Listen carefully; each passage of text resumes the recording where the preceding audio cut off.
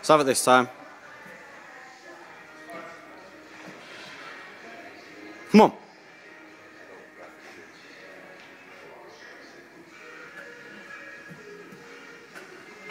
Come on. Come on, Kev.